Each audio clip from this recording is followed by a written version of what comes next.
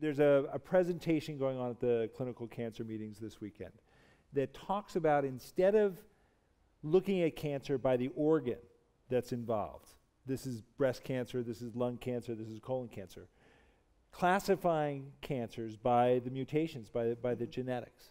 Is, is that, Eric, where, where we're headed? Of course.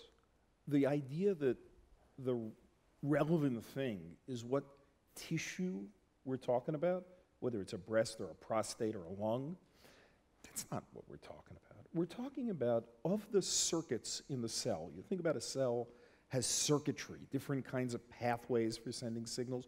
You want to know what's broken.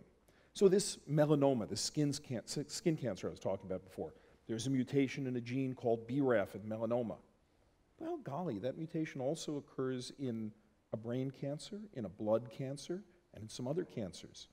It may be more sensible to think about cancers that have a mutation and therefore a vulnerability in that pathway, and then other pathways. So on and on, we're going to be, so you could say, oh, it's horrible. We got all these anatomical types, and then we're going to subdivide them and subdivide them. But at the same time, we're unifying them because we're seeing that there's a finite number of relevant pathways. We don't know how many yet, but it's going to be a limited number. Maybe it'll be 100 pathways that really matter.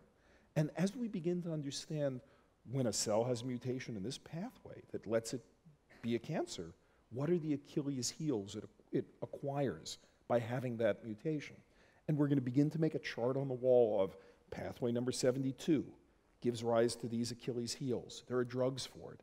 And I think if you want to think about the future, there will come a point when patient comes in, sequence the cancer, mm-hmm. and you're going to look up and say, aha, following three pathways seem to be used in this cancer. We know agents that have a good therapeutic window here that are very effective, specific against the cancer, and pretty harmless against normal cells.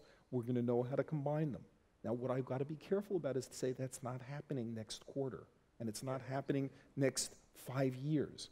It is if we play our cards right and we're willing to invest, happening for our children by the time they might need them as adults. Start it it'll happen. start to happen. Suddenly. No, no, look, right. it'll happen. You'll see, you'll see bits of it. It'll get better and better and better. Mm-hmm. But I think we have to be totally straight about saying that the full return on this picture, what everybody thinks is what they, the end state, that cancer becomes a chronic treatable condition, don't start measuring that in the couple year thing. Right. This is a long march to get there.